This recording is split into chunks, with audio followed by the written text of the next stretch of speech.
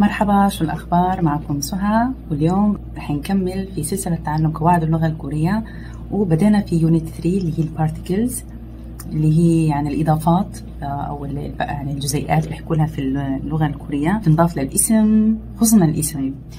الفيديو اللي فات حكينا عن ال particle 에 에 اللي هي بتدل على مكان أو وقت أو زمان. طيب في particle اللي بتشبهها اللي هي إيسو إيسو خلينا نشوف الأمثلة ونشوف إيش معناها أو وظيفتها حسب موقعها أول مثال بحكي لنا 학교에 가요 학교에서 공부를 해요 فلو استعمل A والإيسو 학교에 가요 أنا يعني أذهب إلى المدرسة 학교에서 공부를 해요 أنا أدرس في المدرسة بالعربي الثنتين في في معناهن بس في اللغة الكورية يختلف. يعني إنت ذاهب لمكان أو إذا إنت بتفعل شيء يعني الفعل حدوث الفعل في مكان نستخدم إلي서 خلينا نشوف المثال الثاني 극장에 갔어요.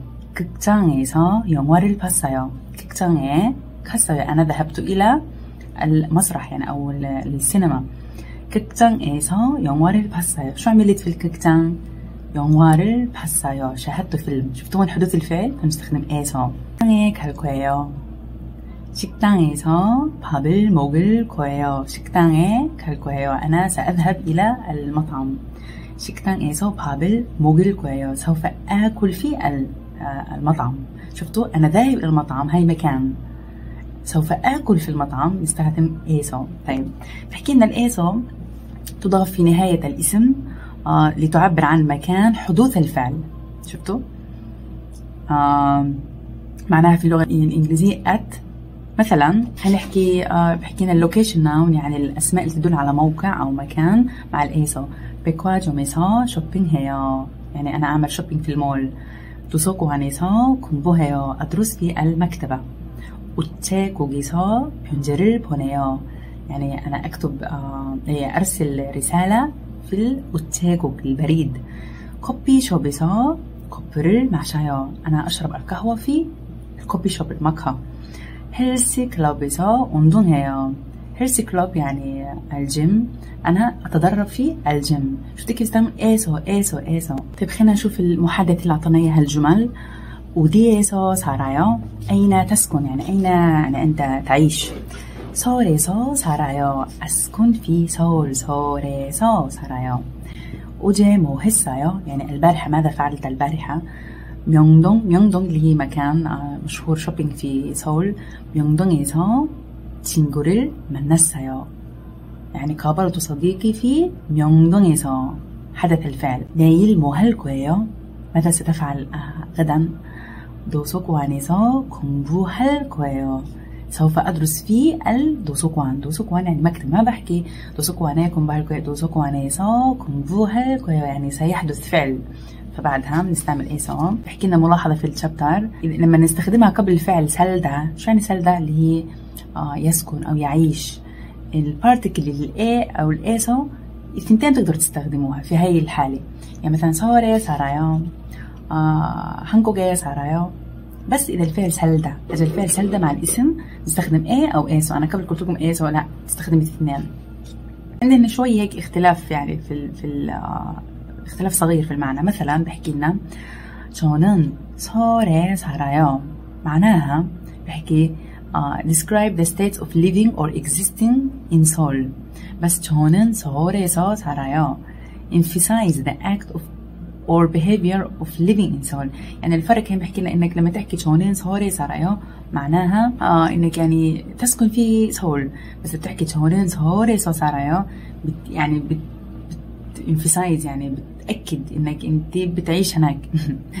نفس المعنى. طيب في الكتاب حاطط زي table table إنه إيش الفرق بين ال 에 وال 에서 يعني هو بيحكي إنه تقريبا نفس المعنى إن ال 에 هي تدل على مكان أو شخص في مكان معين.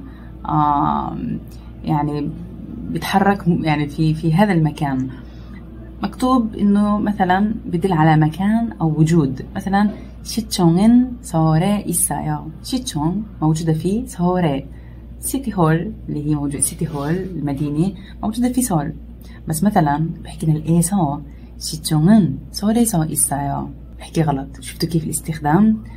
ما بتحكي شيتشونغن سوري سو سري بعد الاي سو دائما بيجي فعل. أو مثلا جيبي أي كوني اوبسويو يعني ما في بالبيت عندنا مكيف.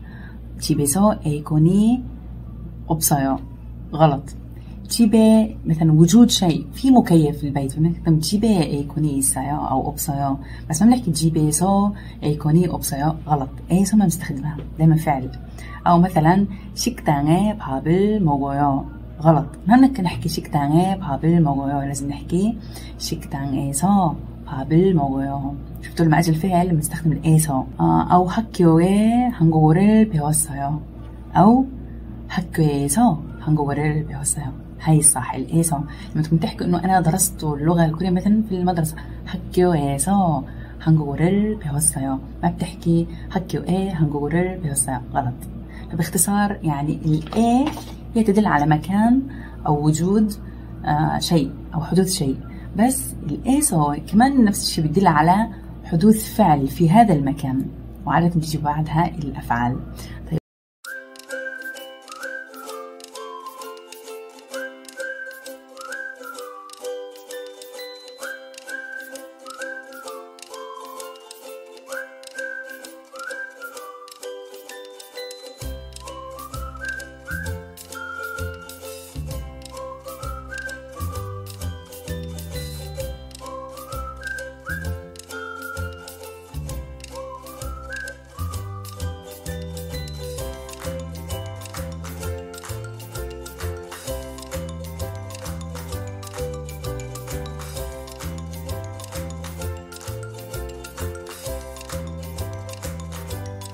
وهيك درسنا باختصار ال 에서 آه اللي هي بتشبه ال 에 بعرف إنه كثير في بيخربطوا بين ال 에서 وال 에 باختصار زي ما قلت لكم ال 에서 هي بتدل على حدوث فعل و ال 에 هي ازيد عن نطاق المكان وال location والاتجاه و أتمنى عجبكم الفيديو. ما تنسوا ال like وال subscribe و share واكتبوا لي في التعليقات.